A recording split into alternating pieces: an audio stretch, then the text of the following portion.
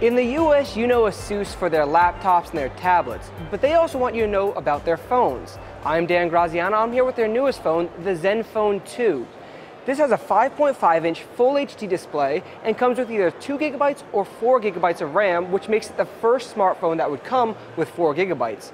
It also has a quad-core 64-bit processor, and while other companies have Qualcomm or Samsung processors, this has an Intel processor just like your computer. On the front, there's a 5 megapixel camera, and on the back, there's a 13 megapixel one. And as you can see here, there's two volume keys, similar to the LG G3 and G4, but on the top, there's still the power button. The ZenFone 2 comes in two models. There's one with 16 gigabytes of storage and a slightly slower Intel Atom processor that will be available for $200.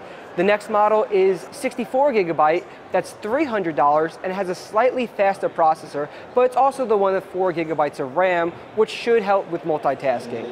Both models also have a micro SD card and a 3000 milliamp battery, and two SIM card slots, although one is only limited to 2G speeds. I'm Dan Graziano for CNET, and that was a first look at the ZenFone 2 from ASUS.